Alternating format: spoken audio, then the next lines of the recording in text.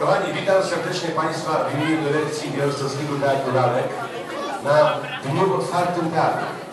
Wszystkich Państwa serdecznie zapraszamy oczywiście do zwiedzania teatru.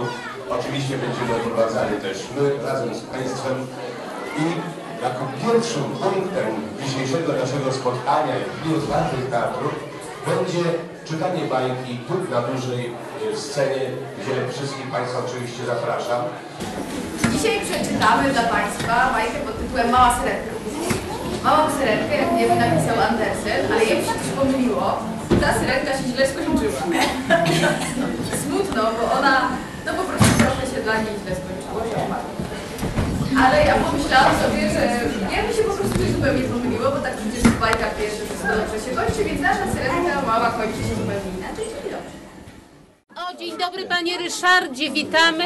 Tutaj Dobry, jest dzień już dobry. pan. Dzień dobry. Dzień dobry, pan Ryszard opowie co nieco o piwnicy i oprowadzi po samym te, po całym teatrze. Jak Proszę ja trzymać się. W tym, w tym teatrze to będę opowiadał o tych reliktach. Proszę Państwa, tutaj zgromadziliśmy wszystkie lalki, które w historii tam istnienia naszego teatru 60 lat za chwileczkę obchodzimy, brały udział w spektaklach. Dzisiaj, jak dzieci się przekonały, coraz mniej jest lalek e, w spektaklach, a to spowodowane jest, taka moda jest, no, na żywy plan, tak się to nazywa. To są różne techniki lalkowe, proszę zwrócić uwagę na przykład kukła. Takie, taka technika lalkowa, gdzie jak na zachodzie gdzieś graliśmy, to wszystkim gały wypadały z orbit. Bo cały zachód jest taki, że przyciśniesz guzik, a tutaj mm, silniczek rękę podniesie, oko mrugnie, język wypadnie, szczęka się rusza. A jak zobaczyli nasze lalki, to oni mówią, a jak tu się gra? Tylko kij siedzi w tym dole?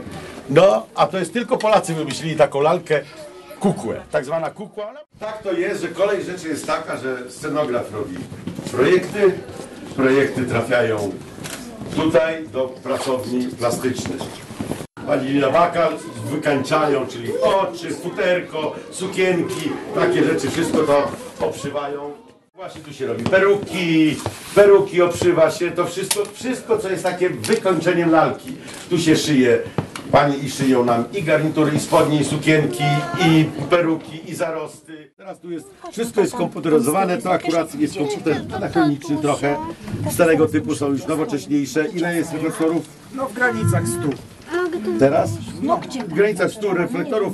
Tu się projektuje zmiany, są za, um, zaprogramowane i przy pomocy tych wszystkich się robi zmiany. Jedno się wygasza, Na przykład możemy jakąś scenę włączyć z naszej bajki, którą teraz gramy. Tekst z Jima o, i widać na ekranie. Ja mówię, jak to? Nigdy nie byliście w prawdziwym teatrze, reflektory, czar, kurtyna, to wszystko. Szkoda, bo to się zabiera z życia dziecka coś, e, coś się takiego zabiera, co potem nie jest kontynuowane. I szkoda, bo bardzo piękne rzeczy.